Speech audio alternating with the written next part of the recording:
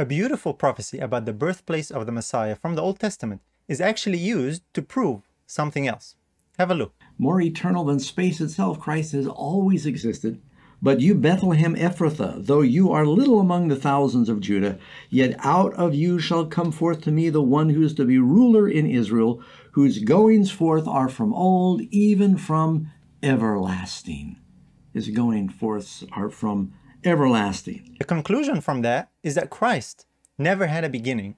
He is from everlasting, and therefore his sonship to the Father cannot be real or literal. Is this really what Micah 5.2 means? Let's find out today on Prove All Things.